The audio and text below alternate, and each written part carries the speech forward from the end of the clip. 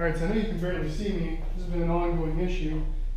Well, I have a twenty-three watt uh, CFL bulb up there that I use in my garage, and it's been sort of a thing that, for a while, it's been really dim out here, and I wanna try out one of these new LED bulbs. This is actually a nine watt, uh, LED floodlight style bulb. Um, but that one's twenty-three watts, pretty energy efficient. This is nine watts. I wanted to see if it was any brighter.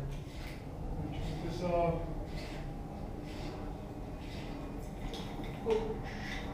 drop that. See, that's the other thing, is you can't even drop these. They have that mercury in them. If you drop it, you gotta, it's a ridiculous cleanup. Be super careful. I like LEDs. The idea of LEDs a lot better. But drop and bring them just electronics. You know what? I think that is a quite a bit brighter, actually. I Feel like uh, you can see around here much better. I'm not gonna say it's like double the brightness, but it is a noticeable improvement out here for sure. Just uh, able to look at the video and tell.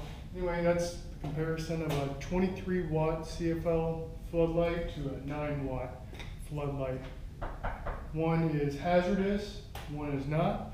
One is clearly brighter, and the cost is pretty good. I think it's a great buy.